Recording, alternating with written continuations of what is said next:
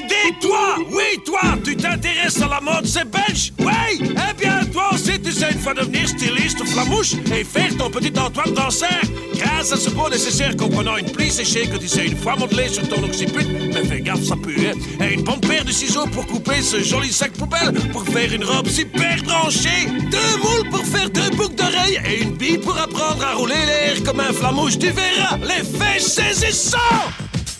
Snell Kids Stylist Flamand Sur commande en Wallonie, chez les fourrons. Et bien sûr, Rie-Antoine Danseur